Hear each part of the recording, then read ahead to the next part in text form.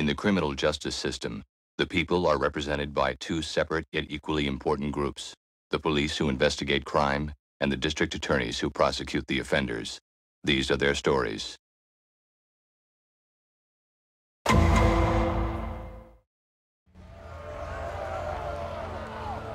Hey man, someone just fell off the bridge. What the hell? The protesters grabbed him and threw him over. Yeah, this is Fontana down at the protest. Uh, just got a report of a man being thrown off a bridge. I need the harbor unit down here quick. Oh, and uh, better call homicide.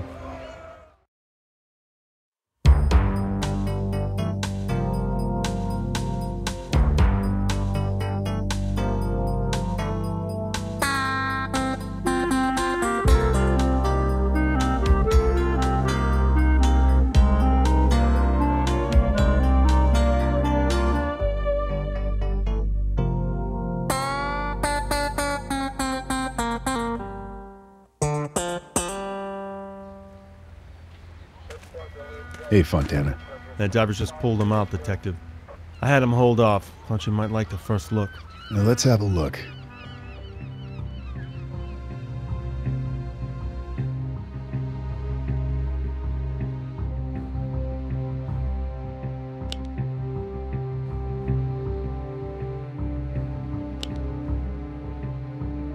Yuck.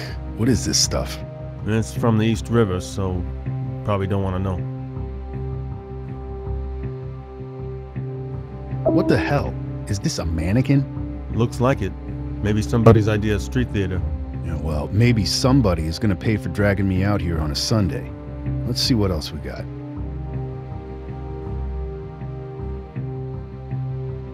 Man, this is just disgusting.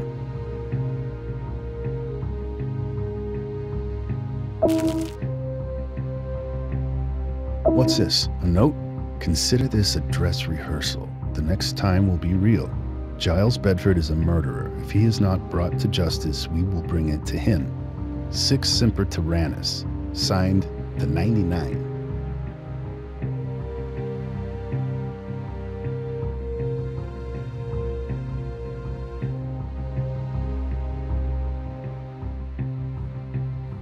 Handcuffed to his wrist and locked. I thought this kind of thing only happened in spy movies.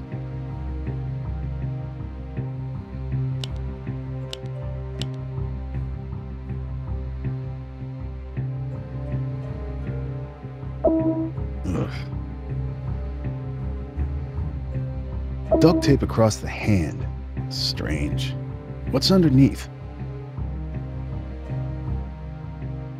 Small key, maybe for a locker or briefcase.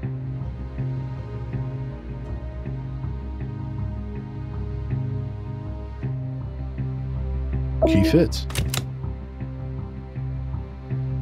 A bunch of fake bills. Yeah, this guy's a real prankster. Giles Bedford? That's a name I haven't heard in a long time. You know this guy? Yeah, Giles Bedford, CEO of Bedford Capital, father of Harrison Bedford, the kid who got killed in the preppy jogger case.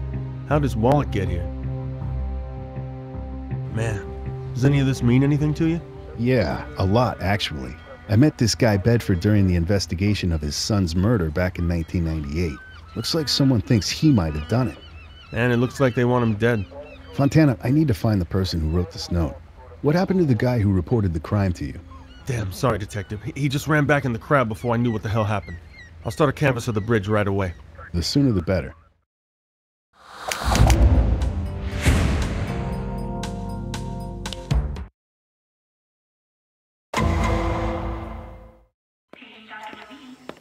I'm Detective Curtis. I'm looking for Giles Bedford.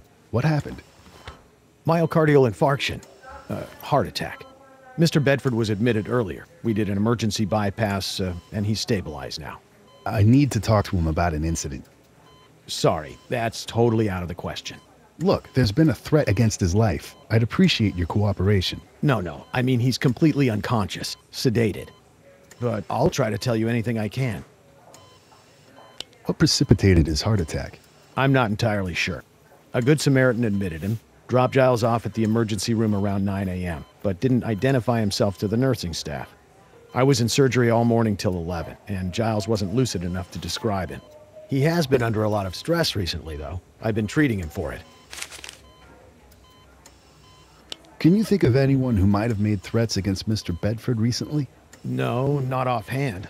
Although he certainly was rattled by some run ins he had with the uh, Occupy Wall Street crowd. Oh? What happened? Anonymous email threats from the 99%. He said he felt vulnerable.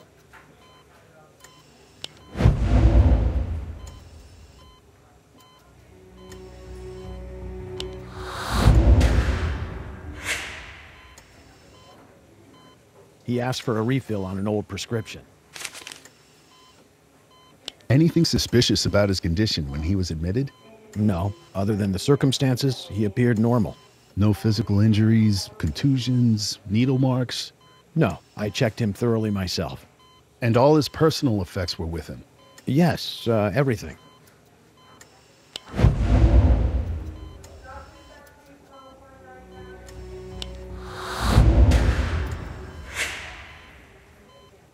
His wallet was missing. Whoever took it was connected to this incident on the bridge somehow. You know any Latin? Yes, uh, a little, I suppose. Sic semper tyrannis mean anything to you? Thus always to tyrants. Supposedly what Marcus Brutus said immediately before he killed Julius Caesar. Oh, and don't forget John Wilkes Booth.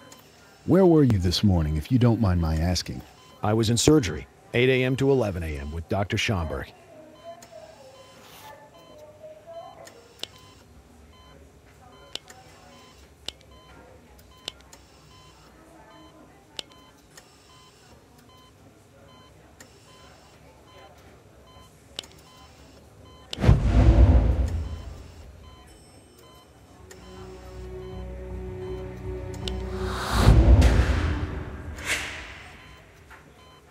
Thanks. I'll need his number, though, just to double check. Really, detective. I prefer to keep my patients alive. It's bad business to try and murder them. What prescription did he ask for? An anti-anxiety drug called Banaxolene. Could it have caused the heart attack? Banaxolene can have some nasty side effects, but heart failure isn't one of them. Plus, Giles was on a prolonged course before, so I doubt there's a connection. I only needed to monitor him every 180 days. Before when? Spring of 98, I think.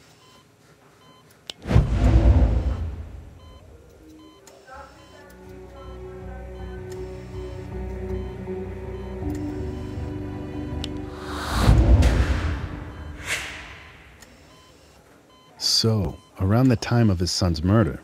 Shortly before, actually. Yes, tragedy. And he was already under so much other stress. You said Mr. Bedford was already under stress before the murder? Well, at that time, he discovered his son's high school girlfriend was pregnant. As any father can tell you, it was not happy news. he was furious. it was no real secret that Mr. Bedford didn't think Allison came from the, uh, right background. And Harrison still told him. Oh, no, I did. The kids came to me for the test, and she being a minor, I, I thought it best to tell Mr. Bedford. What happened after that? I assume it all worked out. He's a very happy grandfather now. Is there anything else you can tell me about Giles Bedford? Unusual calls, erratic behavior?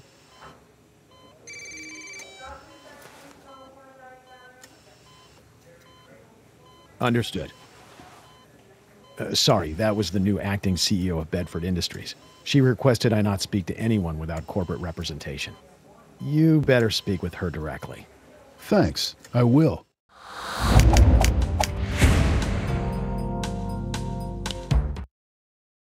What do you got for me? Well, I couldn't find the guy, so I asked around. Photographers, video bloggers, anyone who might have had footage of the crowd. And? You kidding me?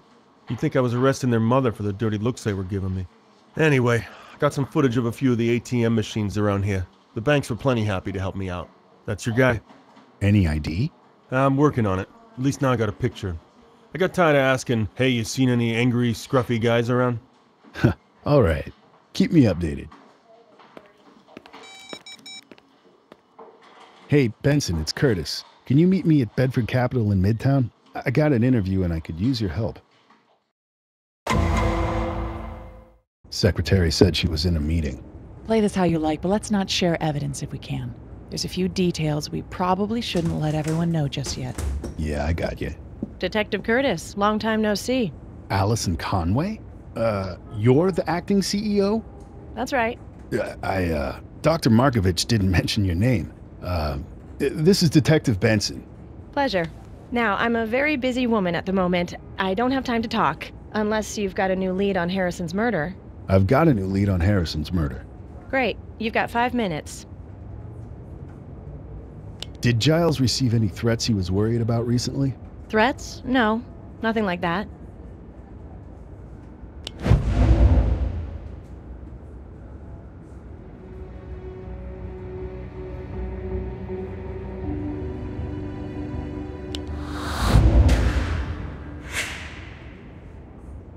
His doctor mentioned anonymous email threats from the 99%.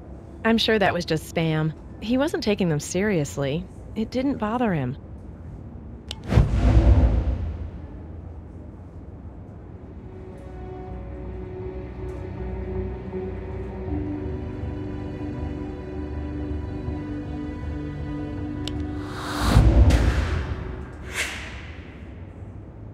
His doctor also told us Giles said he felt vulnerable. Hearsay, Detective. We're not in court.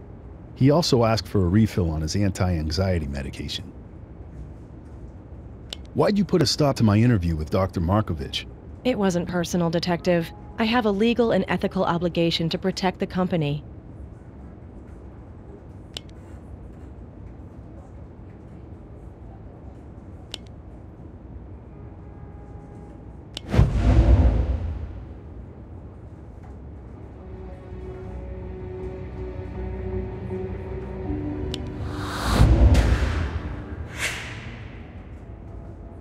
Giles Bedford is the founder of this firm, and you were questioning his personal physician.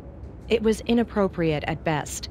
As CEO, I can't stand by and let a police investigation further destabilize an already very unstable situation.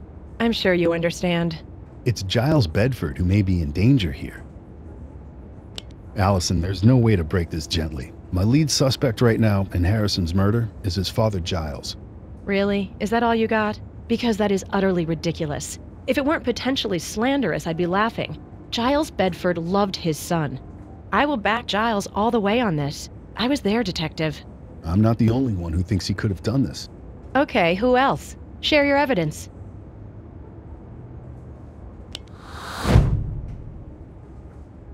There was a mannequin. Whoa, hang on, Curtis. I think we better keep that all under wraps for now. Then we're wasting each other's time.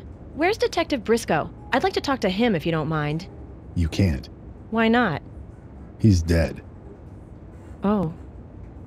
Passed away a couple years ago. Oh, God, I'm sorry. He was your partner. Allison, this is obviously a difficult time for you. We don't want to add to the stress here. We just want to make sure no one is trying to hurt Giles. Thanks.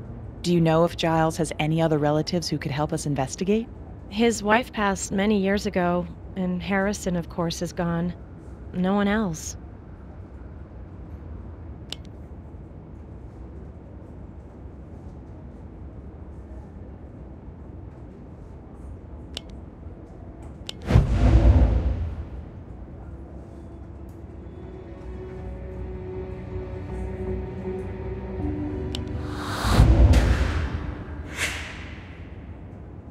Didn't he have another son? Um, Franklin. Oh, right. God. Yes, Franklin, of course. Sorry, he's in Minnesota. Decided to drop out. Gave up his inheritance. Cut all ties. was Giles ever cold to you? How do you mean? Did he ever give you reason to think maybe he didn't approve? I mean, it must have been hard, stepping into the Bedford social strata. No, there was never a problem.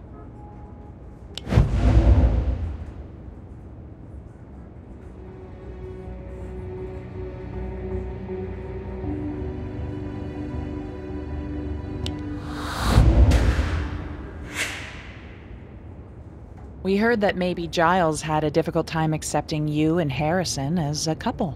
Oh, that? It's been overblown. And besides, look at me now. Things worked out just fine, didn't they? Well, take a look at this. You look familiar? Um, no. Allison, if you really want to protect Mr. Bedford, then at least tell us who this guy is.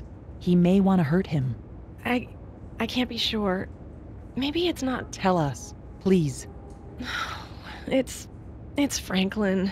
Harrison's little brother. Giles' other son. He used to have a crush on me. I never felt the same. But I haven't seen him in 10 years, not since he moved away. Looks like he's back. You arrested him once, remember? Falsely. Oh, yeah, the prep school murder. This is the same kid? He's gone through a lot of changes since then. I guess we all have. Would he have any reason to want to hurt your father? Hard to say. Franklin got more and more unpredictable after college. Mood swings. Some days he loved Giles, other days, Giles was an evil corporate tyrant. Do you know where we could find him? No, honestly, he hasn't been in touch. Thanks, Allison. Let us know if he contacts you.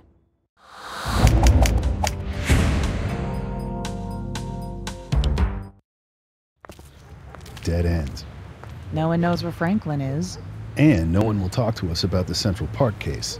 You know, at this point, I'm thinking we should look at Franklin for that one, too. What? How else would he know so much about it? It's the simplest explanation, Curtis. He killed his brother over a girl. Don't tell me you haven't seen that one a million times. Yeah, I have. And while you might kill your brother over a lot of things, you don't hire a hitman to do it. Maybe if you'd never gotten your hands dirty doing anything else in life. So, Allison never saw her attacker? Her memory comes and goes. Plus, CSU told us that she was lying face down when she was shot. How are we gonna break this? What would Lenny have done? Work the leads. He'd go back and re interview everyone again. Old school. Yeah, you know what? I just thought of someone who might be motivated to talk to us now. Mickey Trevino. Right. He's probably getting sick of prison. Maybe he wants to deal. Mickey Trevino. Thanks for taking time out of your busy day to come visit us. Detective Curtis, always a pleasure. I got some more questions for you, Mickey. About Pop, I can turn right around and leave then, because I got nothing to say. What about your connection to a certain 9mm? What about a guy named Frank Vincenzo Jr.? Depends, but I don't do favors. So we talking some kind of deal here? Depends. What do you got for me? Ask away. Did you know Frank Vincenzo Jr. personally? Sure, I knew him. He lived in the building.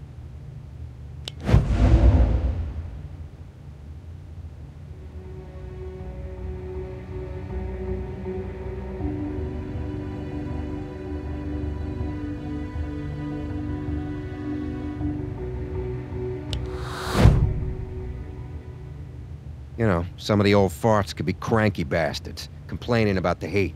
So I'd go up to his apartment and fix it. But he was cool. He'd give me this homemade brandy. We used to drink it right out of the mason jars. He ever talked to you about what he did for a living? Yeah, a couple of years ago, Frank got diagnosed with stage 4 melanoma. Cancer in his bones. He knew he was dying. After that, he started getting talkative. You told me originally you found that gun. You want to change your story? Yeah, Frank gave me the gun, actually. He said it was untraceable. Yeah, well, it was, until you used it. What's your question, Detective? I told you he used it in a crime, Yeah, so what? but I didn't tell you which one. Did he? Yeah, he said it made headlines. He said I'd know it. And he said the case went cold.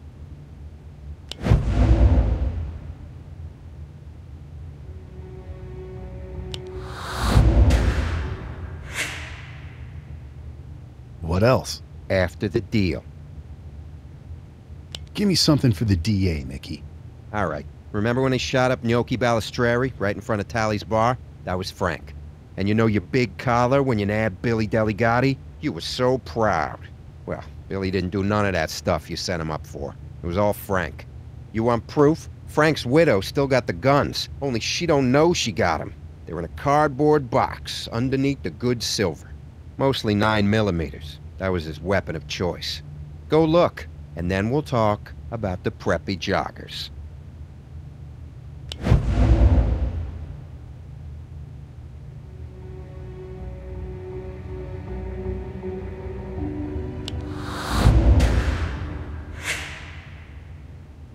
I didn't mention the Central Park case.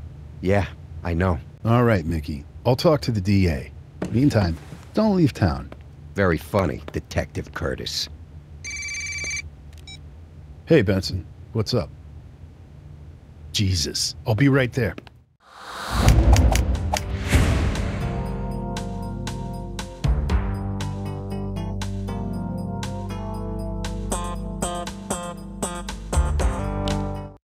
Franklin, put the gun down. Don't come any closer. I'll blow his head off. Swear to God I will. Don't aggravate him. He's insane. Shut up, tyrant. Easy, Franklin. Easy. Franklin, it's okay. We just want to talk. Talk to him, Curtis. Maybe he'll listen to you. What should I say? Tell him whatever he wants to hear. Lie to him if you have to. Give up evidence. Whatever it takes to de escalate the situation. Got it. I gave you fair warning. I told you justice was coming, but you did nothing.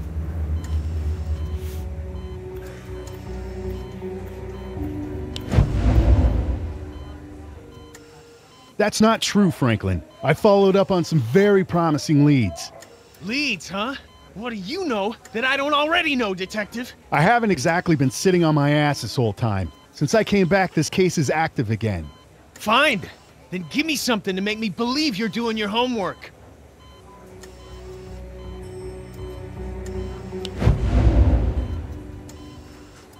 The name Frank Vincenzo Jr. mean anything to you?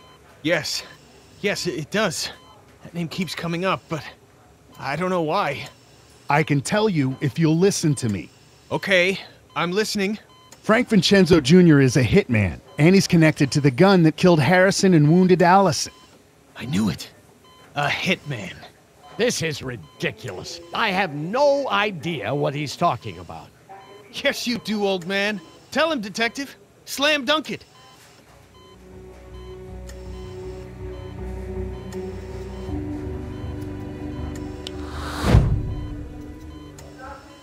There's a guy who used to know Frank. His name is Mickey Trevino. He'll talk if I can cut him a deal. So you don't actually have any evidence yet?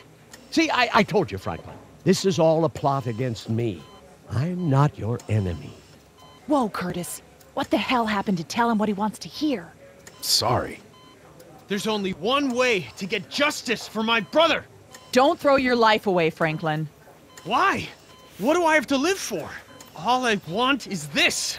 It's all I've wanted for 10 years.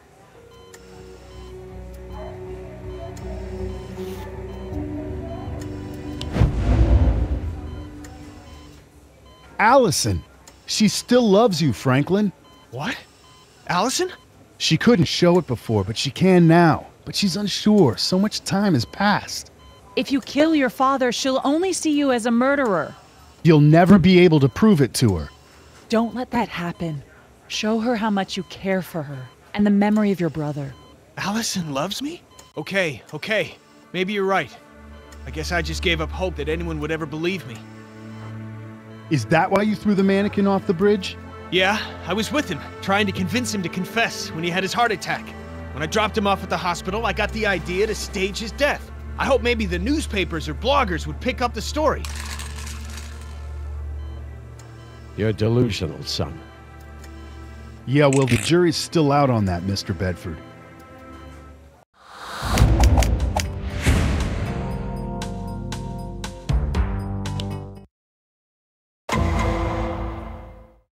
I've looked through the file, Detective, but I have to admit, I'm not seeing enough to put Giles Bedford away for his son Harrison's murder. We've got the makings of a good circumstantial case, Mike. That's not the issue. A jury is going to see Bedford as a grieving father. You're going to have to convince them that he's a murderer. Let me walk you through how I see it.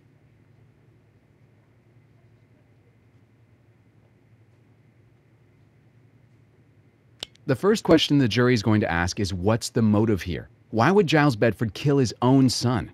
You got something for us, Curtis?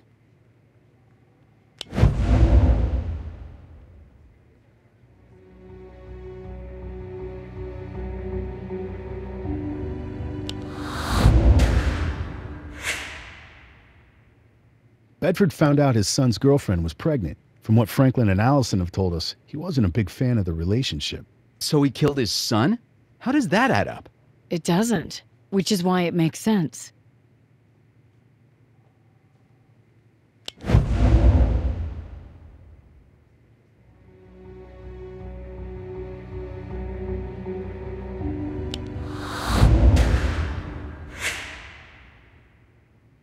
She's right. Both Mickey Trevino and Frank's widow have told us independently that the hit went wrong. The widow said Vincenzo never got paid. My working theory is that Bedford paid to have Allison killed, but during the attack, Harrison somehow got in the way. That I can understand. I'm betting a jury can see it that way too. I'm not just solving this case for myself, Mr. Cutter. I'm doing it for my old partner, Lenny Briscoe.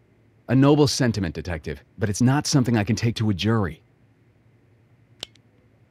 Mickey Trevino will testify that Frank Vincenzo Jr. told him he committed this murder. And Bedford's defense lawyer will throw out the testimony. It's all hearsay, Detective. Not necessarily, Mike. The statement may fall under one of the hearsay exceptions. Curtis, what can you tell us about it? I don't know. What are the exceptions? Okay, there's present sense impression, meaning something that was happening at the moment, within a 30 to 40 second window. There's also an exception for any statement made as part of a regular business record. And there's present physical condition, which would be a statement made to anyone about the declarant's current physical condition. Any of those fit Trevino's evidence?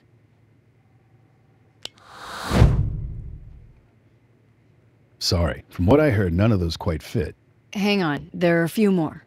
There's another exception for a dying declaration, which apply to any statement made by Vincenzo if he knew he was dying. And there's also former testimony, which would involve anything Vincenzo said during previous sworn testimony. And the excited utterance if Vincenzo said something in the heat of the moment during or immediately after the crime.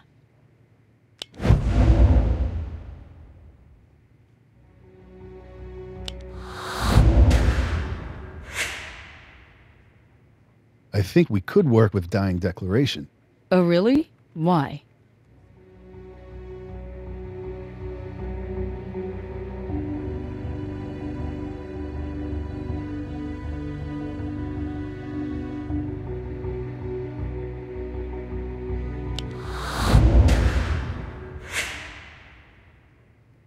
Mickey told me Vincenzo started getting chatty after he was diagnosed with terminal stage cancer. Unusual, but I think it qualifies. Mike? I think you could make a jury see that as a deathbed confession. Go with it. I also learned from Bedford's doctor that he's being treated for anxiety. Interesting, but not definitive. What's he being treated with?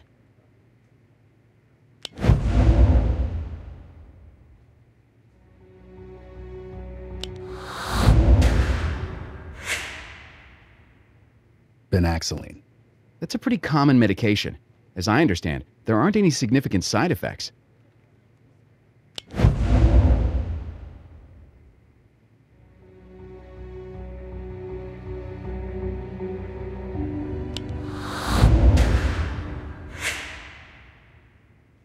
Actually, his doctor mentioned that Benaxaline had some nasty side effects. And it gets even better, Mike. I remember a case about last year. Newlyweds. She kills him completely out of the blue. Turns out she's on Benaxaline and has these episodes of uncontrollable rage. She stops the meds and suddenly she's fine. Great story, but how does that help us? Our crime happened 13 years ago. Curtis, anything that can help us here?